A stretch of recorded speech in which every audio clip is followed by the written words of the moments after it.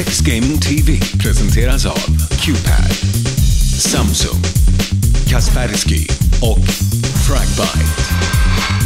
Get right.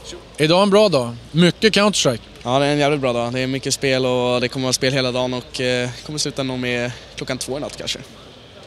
Har du spelat så här mycket Counter-Strike på den här nivån på en och samma dag någon gång tidigare? Nej, jag tror inte det. Eller jo, det har väl hänt om man har spelat någon så här utländsk turnering när det var mycket delays och såna grejer så att det har dragit ut men eh, inte så här mycket om det är så planerat så mycket som det ska. Men det kan ju hända att det blir delays och blir ännu längre också. Så. Sen eh, två turneringar idag mot samma motstånd, H2K, MUM och SK. Eh, svenska lag allihop naturligtvis och eh, ni världsätter. Hur viktigt är det att vinna? Eh, ja, det är jävligt viktigt. Det är, det är viktigt att bevisa att vi, vi är bra på svensk mark också. Vi är inte ett lag som brukar åka mycket till svensk mark och försvara Sverige på plats och så. Vi brukar vara utomlands där vi försvarar oss där liksom. Så det, är, det är viktigt för oss i alla fall att spela bra ifrån och vinna så mycket som möjligt. SK-killarna säger att MUM har varit farliga i prackarna inför. Är det så? Jag har inte spelat mot dem så jag vet inte. Hur mycket har ni spelat? Hur väl förberedda går ni in i det här eventet? Eh, Vi har spelat hemifrån mig i några dagar. Det har väl eh, gått sådär. Sådär. Det kunde ha gått bättre. Vi var lite slö men Hur, eh, hur väl förberedda tycker du att ni är om ni jämför med andra event? Är det så att ni inte är riktigt på topp behöver spelare in i de här turneringarna idag? vi behöver nog spela lite till tror jag faktiskt för att kunna vara som vi var till exempel innan Arbalet där vi vann en turnering. Så.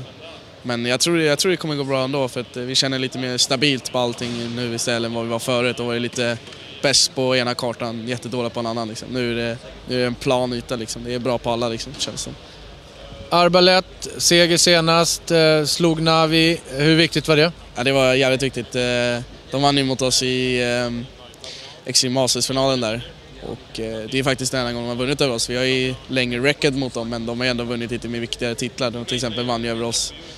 Vann och vann kan man väl säga. Vi vann egentligen overall i matchen borta i Kiev men de vann ju turneringen och vi kom i trea. Så att, det- men det var gött i alla fall att vinna en final mot dem och visa att liksom, vi kan fortfarande och vi vill fortfarande. Liksom pratade med en förre lagkamrat Gux här tidigare och jag frågade vad som var fördelarna eller skillnaderna mellan Fnatic och SK. Han pratade väldigt mycket om, om ert lagspel och hur samspelta Fnatic eh, är om man jämför med SK. Eh, är det någonting som gör att ni kan komma in lite mindre förberedda inför den här turneringen när ni har så bra eh, lagspel?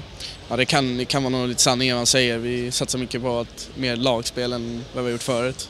Vi har ju fortfarande mig och får som kan springa runt liksom, och göra lite konstiga grejer som inte är med i planen liksom hela.